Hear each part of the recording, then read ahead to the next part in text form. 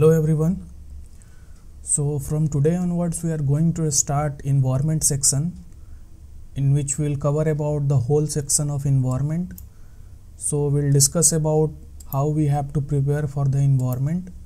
What are the trends that has you know been last 10 years or last 5 years especially after 2013 so we'll discuss everything. So today's session is all about how we have to prepare for the environment for the prelims especially we'll discuss about it in which we'll discuss elaborately about the ways in which we have to prepare for the environment section for the prelims and, and now how this you know the changes has been introduced in the way of asking the question from the prelim section.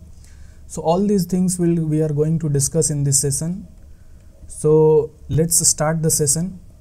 So in this session like i have said earlier we will discuss about range of issues like what are the sections from which questions are generally asked? Then we'll discuss about the previous year question papers that how these how the kind of questions they are asking and what are the trends that that UPSC is following and how the changes has been introduced. Now new googlies has been introduced by the UPSC so what kind of preparation that every aspirant of the civil service civil servants that you know you, they have to introduce themselves. And what are the expectations? What are UPSC expecting from every aspirant who is preparing for this examination? So we'll discuss everything. And last but not the least the sources from which the both static and the dynamic portion of environment section we have to cover. So we'll discuss everything one by one. Okay. So let's start the session now, the major question that is being asked by many of us that how we have to prepare for the environment section. So, I would say the first thing first is that if we can categorize the environment section, we can categorize the environment section in six major parts for our own benefits to understand the each terminologies of the environment section in more easy way. So the six parts would be ecosystem and ecology. So what is ecosystem, ecology, how they are impacting our society, how the changes has been introduced in the ecosystem and ecology by our changing adoption and the changing requirements of human being and how we are impacting the ecosystem and ecology. So we have to understand this ecosystem and ecology. Then we'll we can categorize it in protected areas what are the protected areas? What are national parks? What are biodiversity sanctuary? So these are all the questions that you have to keep in mind. So these are this is these these these are the things that we'll discuss in protected areas. That what is protected areas? And how these protected areas has been introduced over the period of time protect the uh, you know those resources that is that are on the brink of extinction and they are vulnerable so all those things we'll discuss about the protected areas. Then we'll discuss about the flora, natural vegetation. Okay.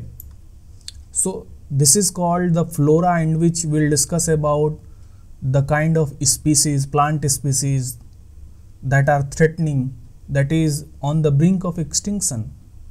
Those who are losing their identity and those identity they are losing is just because of the human greed. Okay? So these are the things that we have to discuss and we have to you know keep in mind while reading environment section. Okay? Now after this we can categorize our environment section in terms of fauna. So what are those animal species? The species that are important for the survival of ours survival of human beings. So this is called fauna. Okay. So fauna under which we can discuss about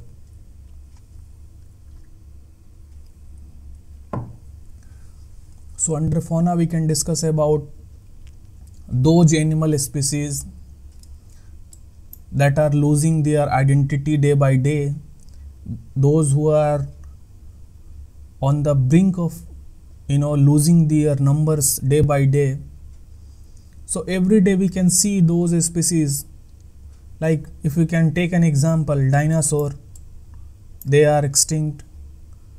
So species like you know these that are the very important for our human survival and those who are intact with the human human you know growth they are if they will lose their identity there will be a great impact on the human being also. So why i am saying is that human and the nature are all correlated. If we can if we keep on encroaching on the nature suddenly we'll see one day that you know human being will be also on the extinct of you know losing their you know identity so this is we have to keep in mind. Then after we'll discuss about the acts and organization that has been that has been introduced over the period of time you know to protect these you know different culture of ours environment section. Like protecting the flora pro protecting the fauna how we have to preserve and maintain the sanctity of ecosystem and ecology so the, these acts and organization has been introduced by the government of india and ultimately by the world fora to protect them to keep the natural way of their growth you know keep on their rising so that so that they can keep on rising. And human being also do not you know encroach on their own territory. So this is that is that is why this acts and organization has been introduced and last but not the least we will discuss about the climate change. So in 21st century if we see the concept of climate change has been in the limelight for everyone. Because of our human greed the day by day we are seeing the different scenarios of climate activities. We are seeing the rising pollution we are seeing the deserted lands keep on growing. We are seeing the plant species shrinking day by day. We are seeing the animal species encroaching the urban areas. So these are the all the things because of the climate change. So climate change is something we have which is the core of every acts and policies we'll discuss in environment section. So climate change is something that we have to remember because of the climate change. So climate change if we can categorize it climate change is the core area and all those activities like i have said and like i have discussed that categorized all those activities these are all come under buffer zone so climate change i would say is the core area of environment section. Okay. Now if we can if you if you have to see the you know trends that how UPSC is asking question from prelims question you know prelims paper for from environment section you can see from 2011 to 2019 like especially if you see after 2013 why I am saying 2013 because Indian Forest Service were incorporated also along with the UPSC civil service examination and Indian Forest Service started to take examination along with Indian civil service examination okay? So after 2013 when IFS were also introduced, the weightage of environment section started keep on rising. You can see from the this graph like this table 2013 13 question were asked from the environment section next year 17 10 18 11 13 and adding to this in the year 2020 you know 10 to 11 questions were asked so 10 to questions were asked from the environment section.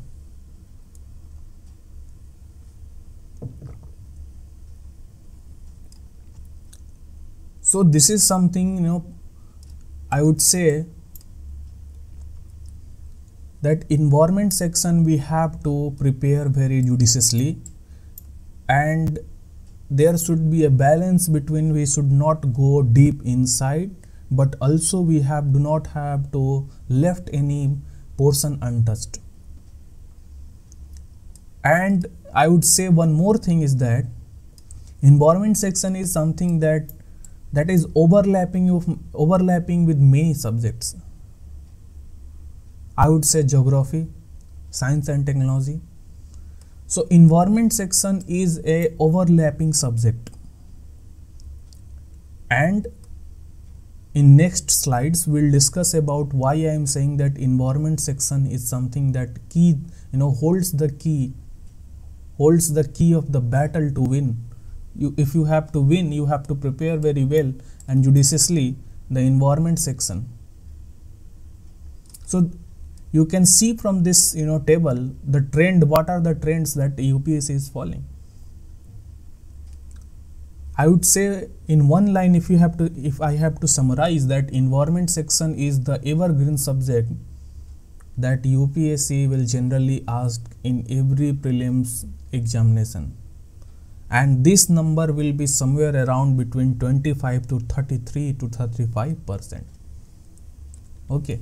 So that is why i am saying that environment section holds the key if you can win the battle or not that will be depend upon the environment section that how you have prepared and what are those if you have if you are really prepared to you know tackle those googlies that will be put forward by the UPSC. Okay. Now, the major question that lies along with all of us that what UPSC is expecting. What are the expectations of UPSC from every for from every student who is preparing for this examination? Like I have said earlier, that weightage of environment topic at many times increases to 33 percent and questions like you know that kind of questions they are asking if we you know categorized it you know very well then we can say that even more around 40% of the question will be asked directly or indirectly from the environment section. Because if we can you know like i have said that geography environment is something that is overlapping with geography science and technology. So that is why i am saying that environment section is something that you have to prepare very well so UPS is expecting like you know that every aspirant who is who wants to be a bureaucrat issues like global warming and climate change you know has forced us you know forced humanity to think beyond follow the expansionist policy like they were happening in the you know second world war.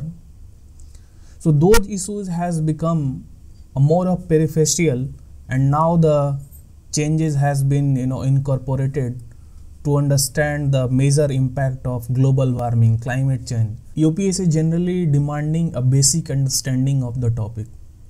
UPSC is not expecting from every aspirant that he or she should be a scholar. He or she should know every terminologies but the basic understanding should be there that why global warming is happening. Why the changes of climate is happening day by day and what are those needs and what are those changes that you know human being has to you know introduce to tackle those the changes that is happening around us? A basic thing. Okay. Then the question is like rising if you if you see if you can you know see for from, from the prism of India's problem, the rising population is something which is very, you know, very important issue for India. And the kind of land encroachment that is happening for us has become a new normal. So in this case, aspirant has to be agile to understand that what are the changes that you know human being or those persons who are you know preparing for this examination has to introduce to develop a sustainable development concept. So when I say sustainable development, you have to understand what is sustainable development, okay?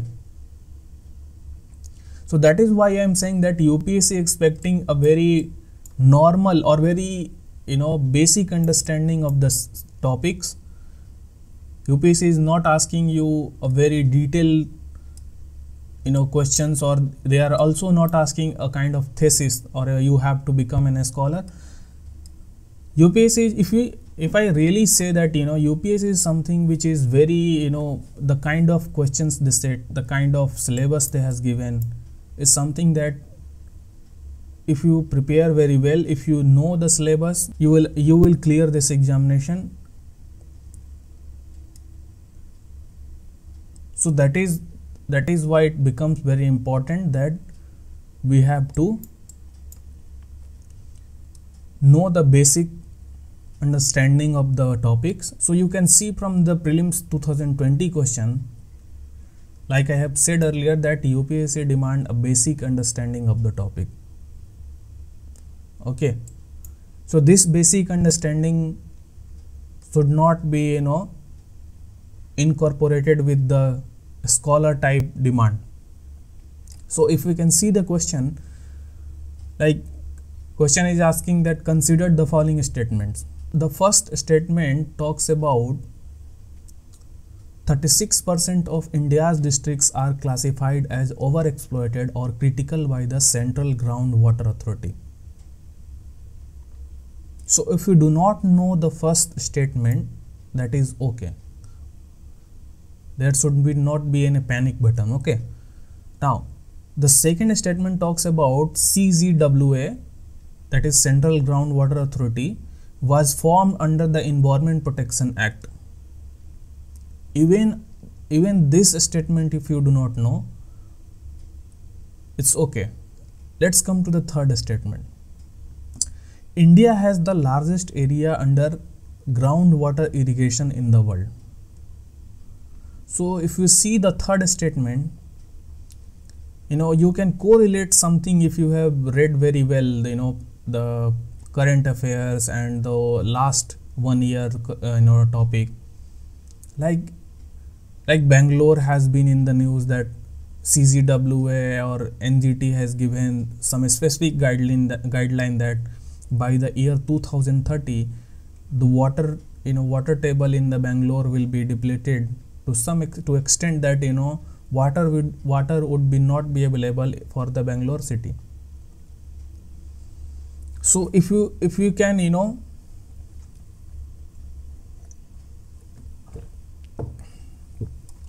if you can remember very well then third would be correct for you okay? So you can relate that third or if third would be correct then either b will be correct or either D will be correct. Then A or C will be incorrect okay? Now so either one will be correct or either two will be correct. So here you if you can you know here you come to the point of 50 50 now so if you have read the current affair even before prelims from this statement has directly taken from the July 2020 NGT guidelines and CGWA that is Central Groundwater Authority they together give a detailed ways in which the groundwater should be used and they have given the districts and the areas under under India you know those districts that are really under stressed situation of water you know they are using some water to an extent that water table has shrinked and you know lot of districts are facing some issues of water. So they have given NGT has given also some specific guidelines that how water should be used and what are the ways in which the groundwater table you know water table has to be maintained. So in this question 2 and 3 is correct okay? So let's see the solution. Answer b is correct like i have said earlier that first statement was taken from the july 2020 ngt guidelines from the for the groundwater uses. Okay. July 2020 ngt guidelines talks about that groundwater extraction in india is primarily for irrigation in agriculture activities for nearly 228 bcm that is billion cubic meter which amounts for 90% of the annual groundwater extraction so we are the countries who is leading the march in terms of using groundwater we are extracting groundwater for you know literally everything right from the irrigation to the agriculture activities to the household uses for the industrial workers. So we are exploiting the groundwater like no one else. And here comes the israel a tiny little small country who is using the water judiciously to some extent that you know even water water harvesting I would I would say is a technology that has been you know key component of their growth. The way they are you know refining the water and they why they you know the way in which they are using the water from here and there is something with that you know India is you know eager to want to learn from Israel. Okay so central groundwater authority statement second was you know right because central groundwater authority was constituted under subsection 3 and section 3 of the environment protection act 1986 for the purpose of regulation and control of groundwater development. So cgwa was constituted along with the environment protection act 1986 okay. And the third third statement is india is the largest user of groundwater in the world. Okay. So we are like using groundwater for every little thing.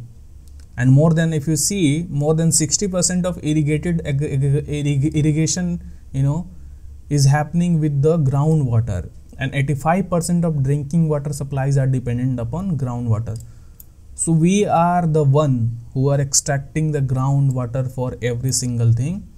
And we are not harvesting the water as you know as that you know we have to do. Because the kind of war, you know water table that is sinking the day is not far away when we have to import water from other countries. If we if we keep on you know increasing or if we keep on doing what we are doing right now so we have to introduce something like we have to aware people we have to you know create a mass awareness along with you know incorporating every section of the society that how we have to you know store water we have to recharge groundwater. Okay. Now last we'll discuss about that sources to cover our environment. Environment section so we will talk about the both static and the dynamic portion of the environment section. So first of all i would say that you have to go through the syllabus of the environment section. And this syllabus should not be prelims only okay? You have to go through the main syllabus of environment. So when you go through the syllabus i would say you only do not go through the syllabus. You have to you know understand the topics understand the demand of the examination understand the key terminologies that is mentioned in the syllabus. Okay.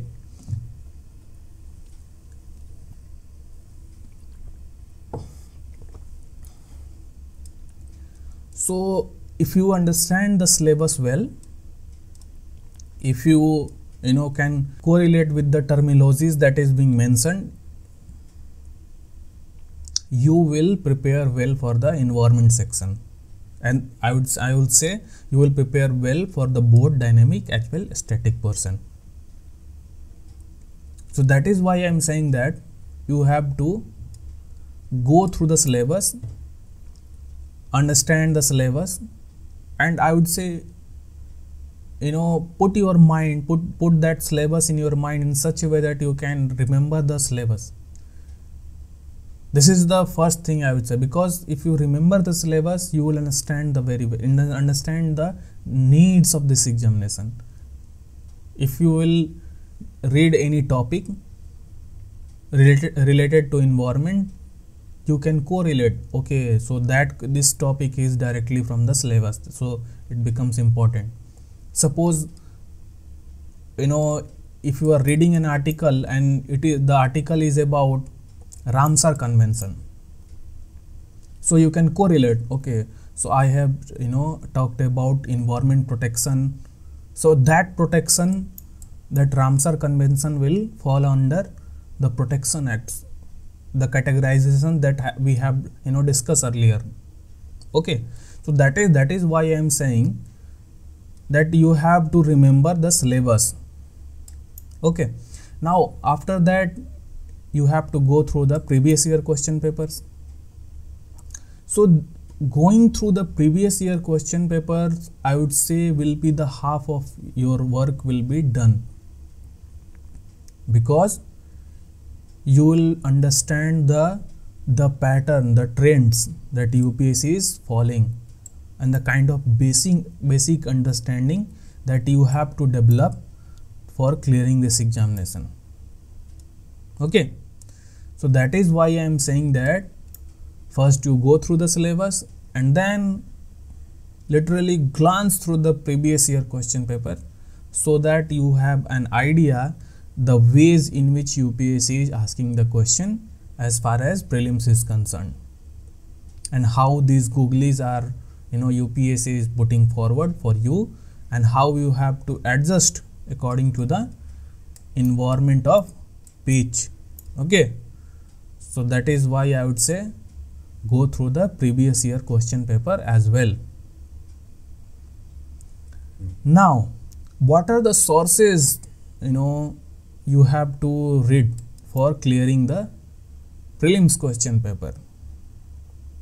So first first of all i would say go through the last four year chapters last four chapters of the ncert class 12 because uh, in ncert class 12 you will see in last four chapters especially a basic understanding of the environment is given in very lucid manner. So you can understand very well. And those fundamental levels of like ecology concept of ecosystem how they are you know happening around us what are the changes that has been introduced.